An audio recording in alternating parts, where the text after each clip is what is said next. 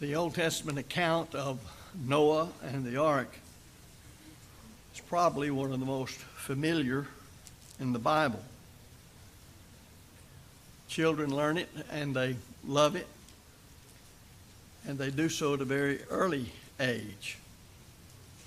But it is also a story that gives great insight into the nature and character of God. For when we see God's dealings with Noah, while you may find some other principles, there are at least four principles of God.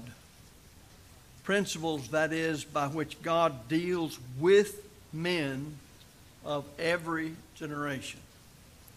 Let's remind ourselves in the right division of the word that the first great religion was in the dispensation we call the father rule period of the patriarchal age, lasting some 2,500 years, going from Genesis 1 1 down to the giving of the law of Moses on Mount Sinai to the children of Israel in Exodus 19 and 20.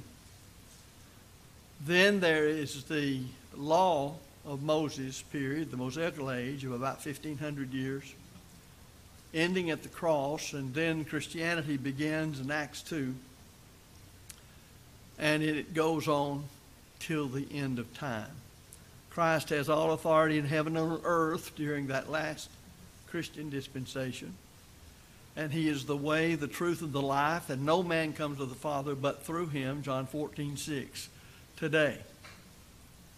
Now, you will find these principles of which I speak way back there in God dealing with Noah to be principles that he uses because he is God and all that that implies that he uses in dealing with man. You'll remember Genesis 6 1 through 9 through 22, and that's the whole account of the matter pertaining to the destruction of the world by water. People were so evil Scripture says the imaginations of the thoughts of man's heart was only evil continually. And it repented the Lord that he had made man, and it grieved him at his heart. And the Lord said, I will destroy man from the face of the earth. Chapter 6, verses 5 and 7. Now, recently on Wednesday night, the idea of, of God repenting was discussed, well discussed, but I want to mention it here because we've used this passage. God doesn't repent like we repent because God doesn't sin. It just simply means God is the same, but when men act evilly, that draws from Him punishment. When they act good, right, righteously, then He blesses them. And that's exactly what's being said here. You read Romans 1, man departed from God because he did not like to retain God in his knowledge, and that changed God from the standpoint of the way we look at things into how he dealt with man. And here the Spirit through Moses, he records this in Genesis about Noah and the flood, makes it very clear that God has a different disposition toward these people whose minds are only on evil continually. He's not going to bless them, though He's the same God yesterday, today, and forever. But we see that Noah, out of all of that crowd of people, found favor or grace in God's sight. And because of that, God decided to save Noah from the flood. Before bringing a flood upon the world to destroy men, God gave directions to Noah to build an ark. Now, mind you, the best we can tell, no one had ever seen any rain. And what's about to take place would not be today described really as rain. The windows of heaven were opened, and the fountains of the deep were opened, and everything altered and was altered by the great water that fell from the sky. You might want to look sometimes at what scientists have determined even today if all of a sudden, in a split second, the water vapor that covers this earth would all of a sudden fall on this earth it would be a great deluge. And yet, it was a different situation in those days because the world was not as it is today. But he told Noah, I'm going to save you because I favor you. Noah was unlike the rest of the people. He was still living as God wanted men to live in that far off patriarchal age. So, we see that Noah had faith. Hebrews 11 makes it very clear that Noah was moved by faith. Well, that means he heard the will of God, and we know that will of God for him to be delivered from the flood was the plan of salvation of his day. He was told to build an ark of gopher wood. He was to pitch it within and without, which is tar. And it was to be 300 cubits long, 50 cubits wide, and 30 cubits high. There was to be one window and one door and three floors. Now you can see there are the obligatory matters specified, and he had to abide by them. Now there's a lot of options he could have used in the process of discharging his obligations. I don't know what kind of hammers he had at that time, but that would have been an option in using. I don't know how he did a lot of things or who all was involved but he could not deviate from the obligations God laid on him, or it would not have been by faith. So then faith comes by hearing, and hearing by the word of God. It's taking God his word, Romans 10 17. And when I get to Genesis 6 22, the scripture plainly says, Thus did God according to all that uh, God commanded him, so did he. So he kept God's will. It also lets us know that grace, through an obedient faith, saved him in that long ago age. So the promise was given, and when Noah did what God told him to do, he would be saved from the flood. Now, let's keep all of that in mind. I want us to notice the first great principle that we may forget, even we who are members of the Lord's blood bought body, the church. And that is that sin, man's sins, and he's put on our level of understanding, grieves God. Genesis chapter 1, verse 27 teaches us that God created man in his own image and that man would pervert the purpose and the plan God had for him. And all of that caused God to be grieved at his heart, Genesis 6 6. There's something that enlightens us here, something that we need to understand that the nature of God is to hate sin. Now we who have heard the gospel, which is God's power to save us from sin, Romans 1:16, have complied with the mandates of Prince Emmanuel and obeying the gospel of Jesus Christ, completing that obedience and being baptized into Christ for the remission of sins, thereby being added to the church by the Lord, Acts 2:38, Acts 2:47 we need to understand that we're to form the same view of sin beginning in our own lives that God has of sin. And sin is the transgression of the law, John tells us in 1 John 3 and verse 4. I cannot conceive of someone saying, Oh, I love God with all that I am and all that I have. I'm so thankful that He did for me what I never could do for myself.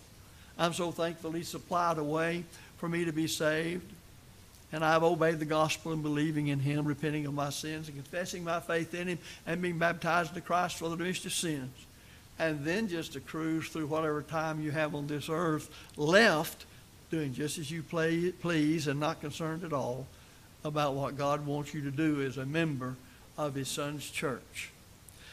So we sometimes pass lightly over sins, and certainly the world does and the denominational world, in one way or the other, human religions have made sin not that big a deal. So we must learn to see the importance of them by looking how God thinks about them, not how you do or how some of my brethren or any other human being does. When God looked down on the world and saw that the earth was filled with violence, it says that all flesh had corrupted his way on the earth. Wickedness was great in the earth. Genesis 6, verse 5, and verses 11 and 12. It grieved God. Now, the Bible is an accommodating book. The Bible accommodates us as God made us. It helps us to understand. God is not grieved like we grieve at times in the loss of a dear loved one or a close friend or something of that nature. But it's trying to say so we can understand that God is sorely upset with us and our sins. When Adam and Eve sinned in Eden, the scripture teaches us that God drove them out of the Garden of Eden, Genesis 3 22 through 24. Now, that tells me a lot about God. He's not going to abide where sin is. And He's not going to allow sin to be where He is. The great messianic prophet Isaiah had this to say in Isaiah chapter 59 and verse 2. But your iniquities have separated between you and your God and your sins have hid his face from you that he will not hear. That's a potent bit of scripture. And why does God turn his ear away when we sin? Well, that's answered by the scripture too. Listen to what he said by the psalmist Thou art not a God that hath pleasure in wickedness Neither shall evil dwell with thee. The foolish shall not stand in thy sight. Thou hatest all workers of iniquity. Psalm 5, 4 through 5. But again, the psalmist says in chapter 45, verse 7 Thou lovest righteousness and hatest wickedness. And in Psalm 119, verse 128, I hate every false way. Now, we have this silly view that's existed among a lot of folks who claim Christ as Savior that you just can't hate anybody. I read of a girl in a Bible class who asked the Bible class teacher, Is it wrong to hate the devil?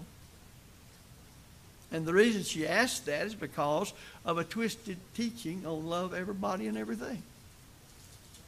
So I ask you, should those who've been redeemed by the blood of the Lamb, by obedience to the gospel, should they love the devil? That is, if anybody knows the Bible, truly knows the right divided word, that is such an asinine question. But it comes from this false view of love that you love everybody, everything, and so forth and whatnot. You don't love the devil. You hate the devil. And you hate everything the devil brings out. That's why we who have been redeemed from our sins by our love and obedience to the truth want to see people in sin and thus enslaved to the devil hear the truth and come out of it. Because they cannot, at the end of time, the destruction of this present system of things, enter into the presence of God. That's why we have taught so well that those on the left hand representing all the people of the earth accountable to God who are lost, that the Lord Himself, the Savior, says to these He would save, but they would not. Depart from me, I never knew you, into everlasting fires prepared for the devil and his angels. If you go on through the Old Testament, you find that the wickedness of Sodom grieved God and his love for sinners, while of course hating their sins, caused him to agree with Abraham to spare the city if, it was a big if, if even ten righteous souls could be found. In the case some of you aren't that familiar with the Bible, Ken sometimes says, Are there just ten righteous? And I wonder, well, do we know what he's referring to? He's being Abraham there trying to say, if you can find 10 righteous people in Sodom, will you save them and not destroy them? And God said he would, but he could not. Genesis 18 and 19. So, the fire from God fell to consume Sodom, and it paints a tragic and vivid picture of God's hatred for sin. All of that there way back in the days of patriarchy, long before Israel was a nation and the commandments of Moses governed them, long before the church was established. All of that teaching us, causing us to say, God doesn't change. God doesn't change at all. The Apostle John later writes, God is light, and in him is no darkness at all. If we say we have fellowship with him and walk in darkness, we lie and do not the truth. 1 John 1 5 through 6. I remind you that's written to people who are Christians, not those outside of Christ. So there's always that need to remind the church you're not of the world. You're not to think like the world. You don't make your plans like the world does. You don't even begin to purpose like the world does. And we should be thinking of all the things that says this world is not our home. We're just passing through. For his creatures to walk in the darkness of sin, and that's what he means, grieves the God of heaven today as much as it did back there in patriarchy. Another important point that comes out of this is that God's patience is limited. People act like God will just always put up with the sins of men. They really think of God as some doting father with Alzheimer's. But that's just wrong. Did you ever wonder how long it took Noah to build the ark? Possibly a hundred years, if you look at Genesis 5:32 and chapter 7:11. But I have to read some more in the scriptures. What was Noah doing besides building this ark, making sure he discharged this obligation given to him by the grace of God, living by faith? Well, if you read 2 Peter 2 5, again written to Christians in the New Testament, the Holy Spirit had Peter reach way back over here to those days in patriarchy, reminding us of what Paul had to say that these things are written aforetime for our learning, that we through patience and comfort of the Scriptures might have hope. And it says that Noah, Peter did, was a preacher of righteousness. Well, we know he didn't just preach one thing and live like the rest of the world but he preached the way he lived. Now, David says in Psalm 119, verse 172, that my tongue shall speak thy word, for all thy commandments are righteousness. So, if he were a preacher of righteousness, he was a preacher of the commandments of God. And as the years rolled by, Noah preached the truth and lived the truth while the ark was being prepared the Spirit, if you please, of Christ through Noah spoke to that rebellious generation according to Peter in 1 Peter chapter 3, verses 18 through 21. Now, notice that God did not immediately destroy those who sinned. You can always be sure that God is going to give the exact amount of time to people in sin for them to repent of it and come out of it, for them to learn the truth. I hear people sometimes say, well, what about these people who never heard of the God of the Bible or Christ or even know of the Bible? It's not unfair to them to say that they're lost. We forget. Oh, how easily we forget. But it's brought back to our minds if we'll just read Romans 1 and believe it that at one time everybody on this earth believed in God? Let that sink in. But men in time desired not to retain God in their knowledge, and they departed from God. God is not held responsible for men who he created with free moral agency for knowing him and then desiring to give him up All are in sin. Christ said plainly that he came to seek and save that which is lost. They were lost before he got here. They were lost because they chose generations ago to depart from God. And sin was in the world because men chose to live contrary to God's will. They didn't want to think about Him. And you see it even today. Try to talk with many people about God, and you'll have the door slammed in your face more ways than one. They don't want to entertain the idea that I must stand before God someday to give an account of the deeds done in the body, whether good or bad. They don't want to be accountable to anybody. But he gave these people ample time. He gave them warning after warning to repent. He did the same thing when it comes to Sodom and Gomorrah and the city of the plains in the days of Abraham and Lot. And he did the same thing to the cities, uh, uh, the children uh, of the Canaanite people who populated Canaan before the children of Israel came in. He just used Israel to destroy them off the land. God always gives more time than any one of us probably would for people to change.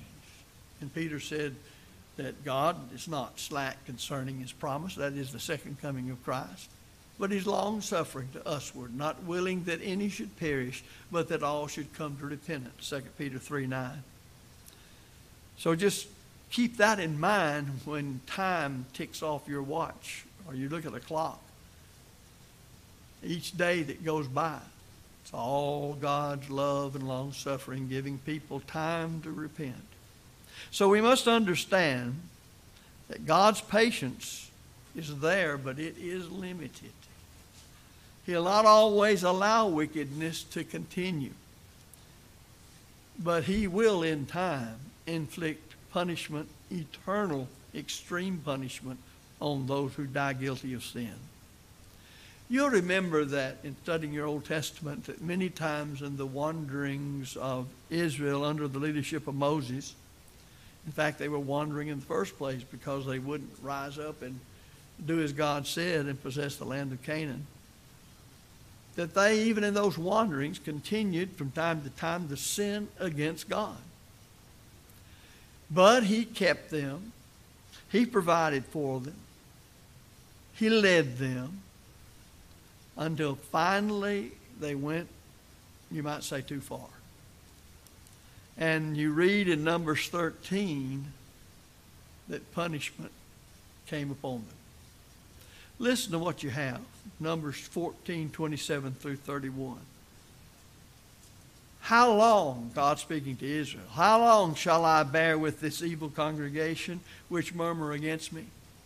And you come down your carcasses shall fall in this wilderness, but your little ones, which you said would be a prey, them will I bring in, and they shall know the land which ye despised. Now we know from the totality of the information of the wanderings of Israel and their possession of the land of Canaan that of all those multiplied thousands, well over a million people, 20 years old and upward, they all died in the wilderness, except for Joshua and Caleb. So it's amazing how people will operate. And we have all of that. We read it, we say, that's the Word of God, it's guaranteed. That actually happened. And it teaches us great lessons. But do we forget sometimes? These eternal, or this eternal principle as well as the others, of course, because it comes from God who's eternal, is at work today. I've already mentioned to you 2 Peter 3 9. Why does God not send his son back right now? He wants to give time for people to repent. He loves people. You say, why does he do that? Look, he made you a free moral agent. You have the power to choose. He appeals to you through his reasoning with the gospel. And he shows you all around you nothing lasts on this earth. Nothing. And we don't know when it's going to end. The Lord's patient, but one day the patience will end and judgment will begin, even as it did in Noah's day. Then this other principle, the third one, comes up. And you notice we've known these all along. God wants man to obey him. Now, God's purpose for man is unchanging. Ecclesiastes 12 13 says, Let us hear the conclusion of the whole matter. Fear God and keep his commandments, for this is the whole duty of man. I think I mentioned many times that duty is not in the original Hebrew. It just means the W H O L E. The whole of man is to obey God. Everything there is about you and that you are is to be given over to obedience to God. And why wouldn't a person redeemed by the grace of God want to do everything just as God wants it done? When God told Noah that he was bringing a flood upon the earth, I've tried to imagine, and I can't, but I try, the outlook and viewpoint and attitude of Noah's contemporaries. Well, they had to scoff at him, make light of him, call him no telling what kind of Bible thumper is in their day and time. But Noah didn't scoff. I mentioned this earlier, but I'll read it now in Hebrews 11 7. By faith, Noah being warned of God of things not seen as yet, moved with fear, prepared an ark to the saving of his house. Hebrews 11 7. Now, mind you, the favor of God that he didn't deserve decided to save him. That is, God did through his grace. Genesis 6 8. Yet he authored a plan that, man, that him being a free moral agent had to learn and live out in his life in building the ark according to God's directions. And the faith that he has or that he had while he was on the earth led him to keep the commandments of God. And he moved with fear, a proper awe and respect of God, which means he had the same attitude toward God's word. And he prepared an ark. There's something we must do in accepting what God's done for us we couldn't do for ourselves. That's why He made us free moral agents. He wants us out of our own free will to choose to recognize these things and obey Him. Noah believed what God spoke to him. Therefore, Noah did what God said. It's that simple. It still is. In Genesis 6.22, here's the reading. Thus did Noah. Third time I think I've said this. According to all that God commanded him, so did he. Your tombstone. Thus did put your name there. Did you. According to all God commanded him, so did he. Would you oppose that being written on your tombstone? I certainly wouldn't. We're saved by grace through an obedient faith in this Christian age, even as Noah was saved by grace through an obedient faith. When God said gopher wood, God didn't mean you substitute pine or ash, whatever else they had. And I really don't know what gopher wood was. Scholars think it's something like cypress. Who knows? He did. He knew exactly what it was. God didn't just give him general authority. He said, I want this kind of wood used. And here's the name of it, and you know what it is. When he said 300 cubits long, he didn't mean 301 cubit long. He didn't mean 299 cubits long. Somebody not really believing in the pattern of truth that is the infallible New Testament back when I was in school wrote the 301 cubit length ark, making light of the fact that you must do just exactly what God said that it would have been all right if you went one inch, we would say, or one cubit further. That is so ridiculous. If you can go one foot further, or one cubit further, or one inch further, why say 300 cubits in the first place? Why not go 350? Or why not go 295? See, all these things test our trust in God and His Word. Somebody asked me, why are you, if I were Noah, why are you building this ark just 300 cubic feet long? The easy answer is God told me to. That's so simple. God told me to. And he did. So he didn't decide on 320 cubits or 280 cubits, and that'd be better because it suited him. God told another man once to do something, a fellow by the name of King Saul, go to utterly destroy the Amalekites. None of them. Leave any of them. Well, he goes and he decides that he'll keep the best and brings back old King Agag and he'll offer that. And then he tried to blame the people. Well, he was a sovereign king. They do what he tells them. And because of that, God, through Samuel, let him know you had it as far as king is concerned. I've always thought about the way the scripture describes poor old Agag, Agag as he's standing over there listening to all this stuff. He thinks he's escaped. And Samuel doesn't just take a sword and whack him in the top of the head. The Bible says Samuel hewed him in pieces. I don't know what some of these people will think today when it comes to Samuel acting out of love. Well, I believe he acted out of love. Love for God and doing what God told him to do. Just like David did when he took on Goliath.